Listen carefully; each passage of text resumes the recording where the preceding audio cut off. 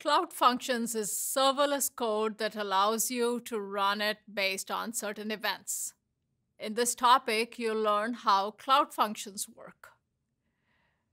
Developer agility comes from building systems composed of small, independent units of functionality focused on doing one thing well. Cloud Functions lets you build and deploy services at the level of a single function not at the level of entire applications, containers, or VMs.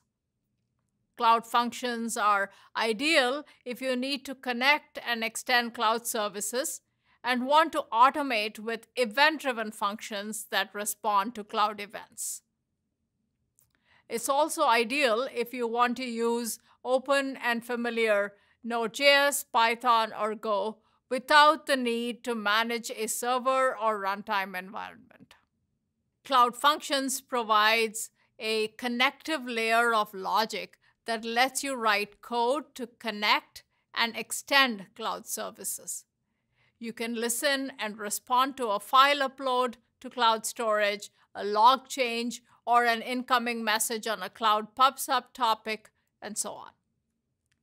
Cloud Functions have access to the Google Service Account credential and are therefore seamlessly authenticated with the majority of the GCP services, such as Cloud Data Store, Cloud Spanner, Cloud Translation API, and Cloud Vision API. Cloud events are things that happen in the cloud environment. These might be things like changes to data in a database, files added to a storage system, or a new virtual machine instance created. Events occur whether or not users choose to respond to them. You can create a response to an event with a trigger. A trigger is a declaration of interest in a certain event or set of events. Binding a function to a trigger allows you to capture and act on the events. Cloud Functions removes the work of managing servers, configuring software, updating frameworks, and patching operating systems. We fully manage the software and infrastructure so that you just add code. Furthermore, the provisioning of resources that happens automatically in response to events. This means that a function can scale from a few invocations a day to many millions of invocations without any additional work for you. Events happen all the time within a system, like file uploads to cloud storage, changes to database records, requests to HTTP endpoints, and so on. By writing code that runs in response to those events, Cloud Functions runs it while automatically managing any underlying infrastructure.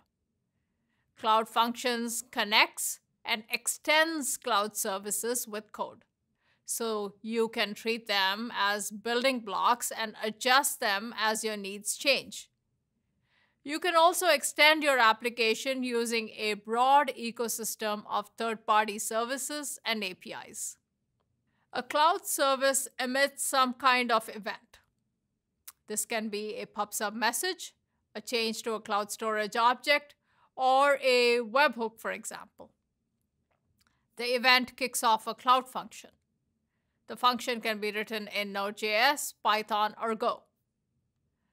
The function can invoke other services and write back the results. Building infrastructure is not required when leveraging cloud functions.